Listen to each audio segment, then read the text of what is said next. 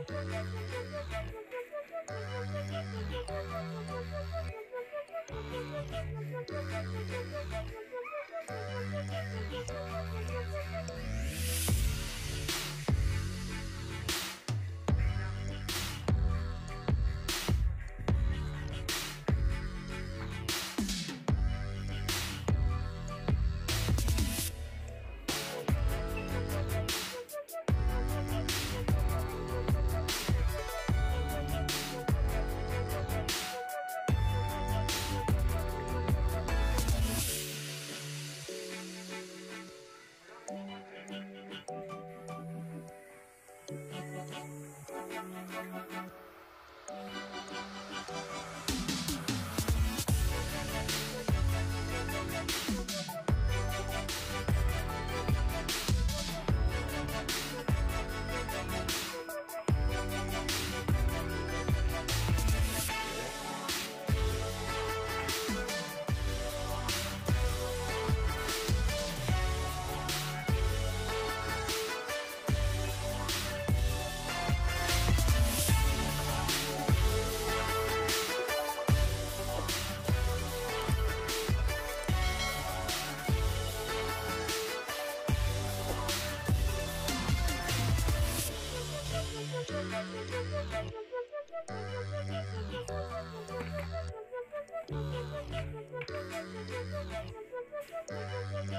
Oh,